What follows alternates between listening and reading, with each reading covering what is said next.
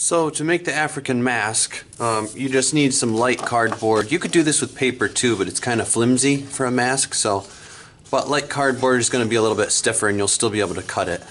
Um, so this is like cardstock, and we're just going to fold it in half first. And you could fold it in half the hot dog way or the hamburger way. Depends on what you want the shape of your mask to be. So now that I've got my folded side, that's what I'm going to cut through. So I'm going to cut through the folded side.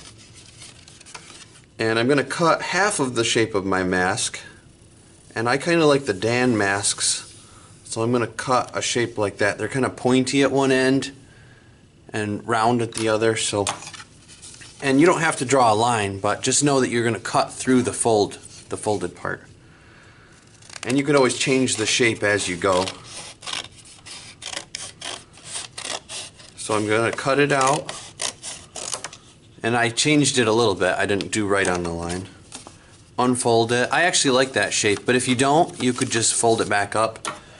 Cut it again. You can cut it flat on the bottom. It could be more square. Some of the African masks are square. Um, so the next step is going to be to punch holes in it with a hole puncher. So I've got my hole puncher here, and I'm going to fold it back up figure out where I want the eyes to be and reach in make a little hole. And you could leave it like that but um, I'm gonna make mine a little bit bigger.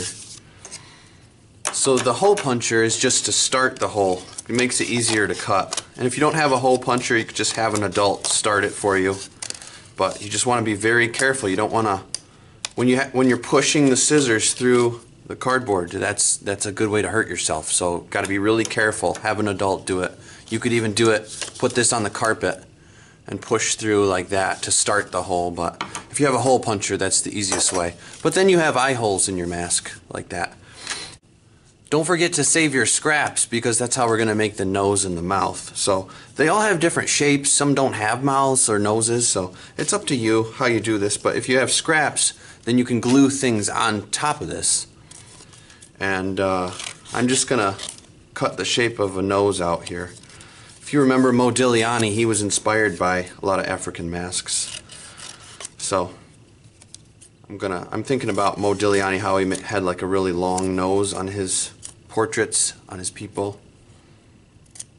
So whatever shape you want. I like the way that looks. So I'm gonna fold it a little bit too so it stays on better and you could curl it up like that so it sticks out a little bit. Um, just a little bit of glue on the back. Stick it on.